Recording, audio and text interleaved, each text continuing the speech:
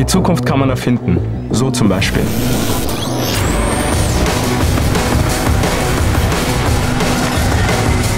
Paul Eisler hier hat die Leiterplatte erfunden. Eine Art elektronisches Puzzle, das verschiedene Teile mit Hilfe von Metallbahnen miteinander verbindet. Zum Beispiel für deine Konsole, dein Smartphone oder deinen Bluetooth-Kopfhörer. Das ist ein Zukunftserfinder, ein Elektrotechniker.